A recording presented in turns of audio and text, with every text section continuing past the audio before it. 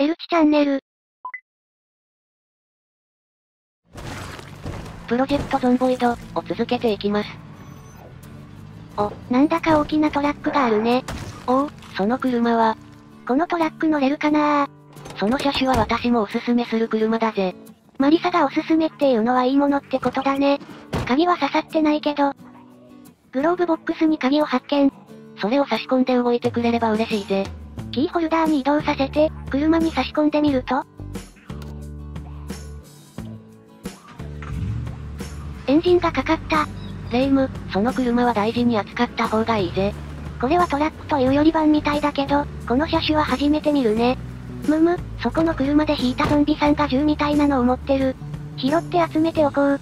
特殊警棒も持っているぞ。それは武器としても悪くない。服装からして、警察のゾンビさんだったみたいだね。ダブルホルスターを腰に巻いておこうっと。メーターのガソリンもしっかり入ってるし、これで本屋さんに行こうかな。その車は他の車よりもトランクの積載量がとても大きいんだ。メインの車として今後も使えると思うから、大事に扱おうぜ。そうなんだそれならゾンビさんを引くのは我慢するよ。すぐに壊れちゃうからね。うむ、せっかく槍の武器も作ってみたんだし使ってみてくれ。おお、この槍使いやすい。槍はクリティカルに相手を仕留めることもあるし、同時に数体のゾンビさんを攻撃することもできる。その上、なんといってもその攻撃の速度とリーチの長さが魅力なんだ。もう倒しちゃった、強い。お、ハンティングナイフが刺さっているゾンビさんがいたんだな。それも槍の先端に取り付ければ強いのでおすすめだぜ。拾った。この槍は、金属パイプや金槌よりも使いやすいかも。大群を相手にするときも比較的倒しやすいぜ。いいね、今度から刃物類は槍の材料として集めておこう。何も取り付けていない木板だけで作った槍も悪くないのだが、何せすぐに壊れてしまうので、私は30本分の槍を用意していたこともあるんだ。さ、30本。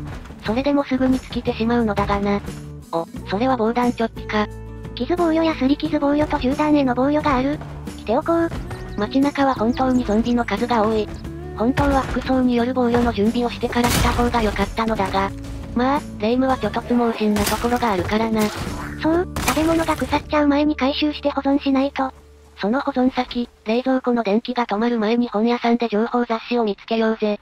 おお、すごい数の本。すでに読んだことのある情報雑誌も一応回収しておき、読まないと覚えられないような技をしっかり覚えていこう。狩猟の友、ボリューム2だって、これはクレート式の罠の作り方が載ってる。分野ごとに何巻か種類があるんだ。全部残さず読むんだぜ。て、何を動かしてるんだ？ここら辺をいじったらもっと視界が広がると思って。なるほど、霊夢がよく見えるぜ。このなんとかの講座って書籍は集めなくてもいいの？ああ、それらを読むとスキルの取得経験値が増えるのだが、時間がかかるし今は省こう。ふむ。おお、今レジスターの中に現金が入ってた。こんな世界では現金は火種にしか使えない。まあ、何を集めるにもただ同然だものねこっちの本棚も本がびっしりだわ。赤い書物や漫画なども集めておこうか。退屈した時に読むといい気晴らしになる。了解。それにしても、エレクトロニクス系や溶接技術系や、農業からお料理、狩猟に至るまでいろんな情報雑誌があるね。これは大型車の整備方法が載ってるよ。霊夢が手に入れたばかりの版は大型車だ。それで今後は修理などを自分でできるようになるだろう。続きを読む前に、さっきから何かを叩く音が気になる。そこの扉からだぞ。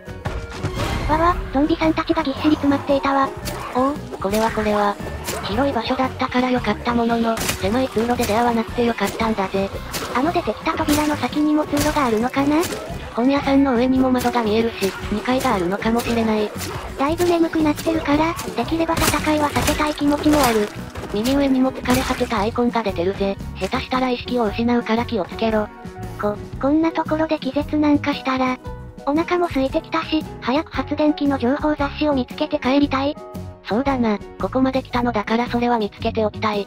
缶詰のチリソースを食べながら探してみるね。ほうほう、薬草治療の情報雑誌なんかもあるんだ。むむ、霊夢。そこにあるのは発電機の情報雑誌じゃないか？おお、あった。それを読んでおけば発電機の使い方がわかるんだぜ。やほいわあ、ケーキの作り方が載ってる情報雑誌もあるじゃない？これは読んでおかなきゃ。霊夢はそっちの情報の方が喜びが大きいんだな。夢中になって読んでたら、目の前がクラクラするくらい眠くなってる。徹夜での読書、お疲れ様だぜ。この本を車のトランクに乗せたら帰りたい。って、このトランク、広この前乗っていた車の容量が46キロだったのに対し、それは208キロまで乗せられるんだぜ。おー。しかも状態も良さそうなのでな、だから大事に扱ってほしいんだ。これならもう少し何か持って帰りたいわ欲張るレイムさん。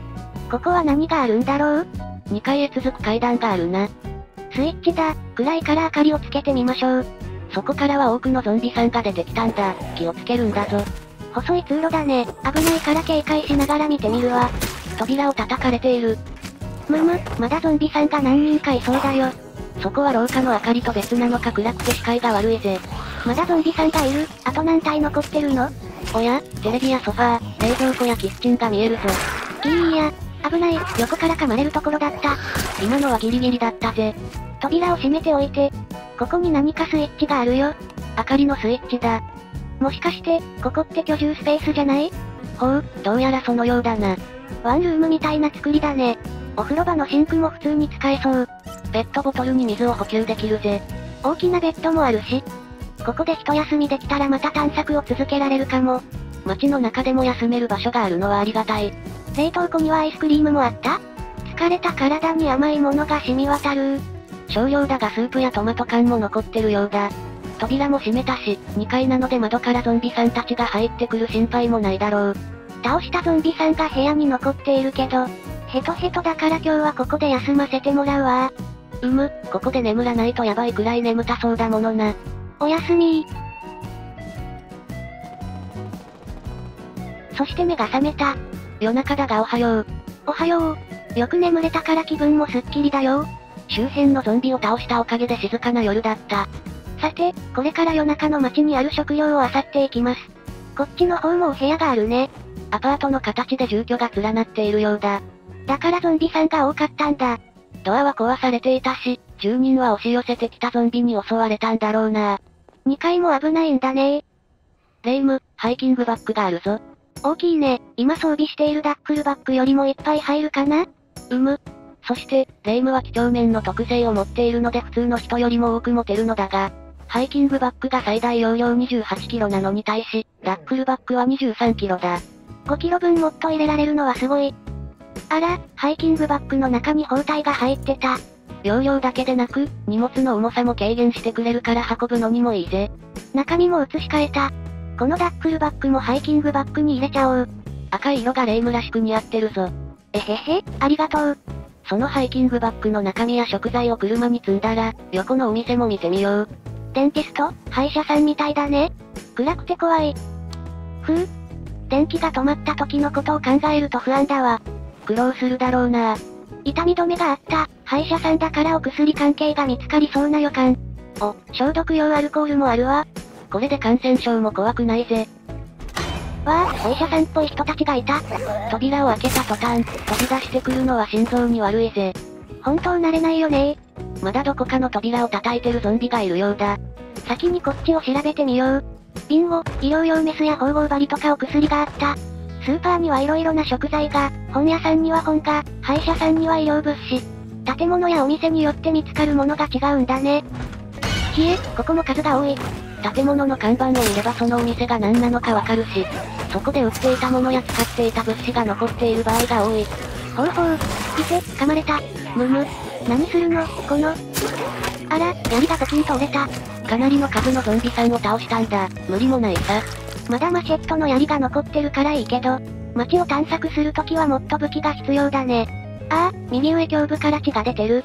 医療物資は十分なほど持っているから治療は問題なさそうだな。車には医療用の物資も積んでおくのがいいかもな。お、何か地図を持ってるゾンビさんがいるよ。これは、レイムがいるウエストポイントの街の地図だぜ。レイムの拠点がこの辺りで、今いる歯医者がこの辺りだ。へえ、街ってこうなってるんだ。オレンジ色が民家、黄緑が商店、黒は工場などだな。お店はこの辺りに集まっているんだねこのウエストポイントの街の外はどうなってるの？街の外には森があり別荘や農場、また別の街もあるぞ。ふむふむ。広そう。そのうち訪れる機会があるかもしれない。何も見なかったように扉を閉めたな。早くこの建物を探索したら逃げよう。ゾンビもすぐに扉を破壊して出てくるわけじゃない。少しの間は大丈夫だぜ。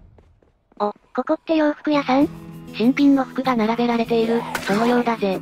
やったここで新しいお洋服を集めておこう。レイムが今着ている服も汚れたり破けているからな。洋服は糸と針で修復することも可能だが、せっかくなので好きな服を持って帰ろうぜ。いろいろな服があるのね色も豊富だわ。じっくり選ぶのは家でいいから、とりあえずささっと持っていこう。先ほどの地図で見たように、周囲には見ておきたい店が多い。お次はこちら、何のお店かな？そこは雑貨屋じゃないか？スクリュードライバーやシャベル、ノコギリとか色々ある。車の整備に使うラグレンチもあるぜ。他にも色々な工具や部品があるみたい。お、これはゾンビさんを殴るときにいい金属パイプ。金属パイプは本来、何かを溶接したりするときに使うものであって、ゾンビさんを殴るときに使うべきものではないんだぜ。硬そうなバールもある。これは間違いなく武器でしょ。確かに武器としても使えるが、それもリフォームや家具の移動なんかに使うものだぜ。お、帰り地を防ぐのに良さそうな溶接用マスクもある。工具の使い道が物騒な方向ばかりだ。えへへ、釘を使った武器とかも作ってみたいね懐中電灯もあるな。ゾンビさんの骨に負けなさそうな戦闘靴も売ってる。このお店、品揃え豊富。戦闘靴は傷防止にもとてもいい。そこの肥料も工作で使えるので持って帰ろうぜ。車にはまだまだ荷物を積めるから、どんどん集めて積み込んじゃおう。おお、これってルアーと釣り竿じゃない？この世界でお魚さんって捕まえられるの？ふふ、レイムが川に行けた時に確認してみるといい。ほ、ほう？そして無事に来たアーク。おかえり、車も綺麗な状態だな。トランクの中には資材がどっさりですよこれから資材の仕分け作業だぜ。そうだった、食料もあるから冷蔵庫に入れたりしないと。まずはハイキングバッグいっぱいの工具を預けないと何も持てない。シャベルやノコギリ、バールやレンチ類など様々な工具が揃ったぜ。あらこれ以上この棚に置けないんだけどどうしようそれなら一時的に床にでも置いておくといい。うーん。床がごちゃごちゃしちゃいそうだね。ちょっと欲張って色々持って帰りすぎたかも。大丈夫、あくまで一時的なものだ。資材保管については、今後解決方法があるから問題ないぜ。というわけで今日はここまでです。最後まで見てくれてありがとうございます。ご視聴、ありがとうございました。Thank you for watching だぜ。